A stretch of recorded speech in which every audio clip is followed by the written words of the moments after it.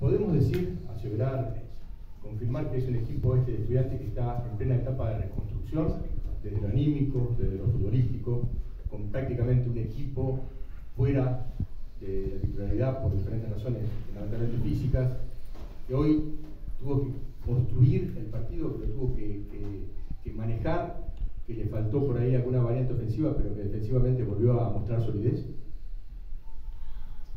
Nos tenemos que volver a encontrar y,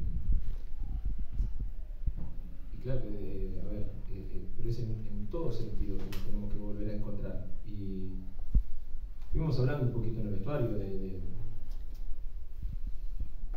los golpes anímicos que, nos han sucedido es levantarse lo más rápido posible, em, de, que se había conseguido un, camino y que eso no era el final, era se consiguió un camino, no se consiguió un objetivo, el objetivo está al final y que si no entendemos esa parte y nos creemos más de lo que realmente somos, eh, nosotros tenemos que ir construyendo día a día, día a día porque no nos va a alcanzar y todo lo que han hecho estos, chicos, este equipo, los, jugadores, eh, fue difícil de conseguir.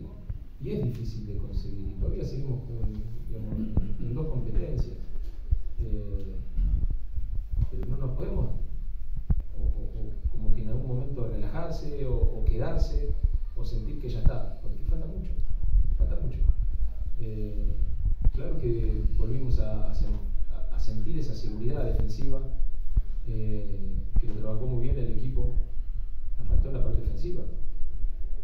Claro que hay, muchos cambios, pero también muchos jugadores que habitualmente juegan en esa zona. Eh, y todos, digo, todos, todos tenemos que acercar.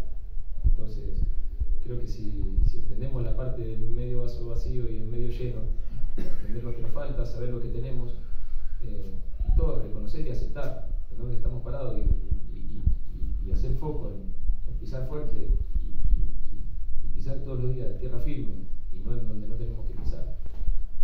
Claro que este equipo